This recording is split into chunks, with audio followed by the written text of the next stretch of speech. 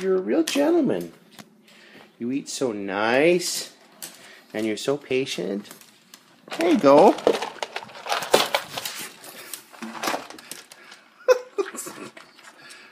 eh, maybe not.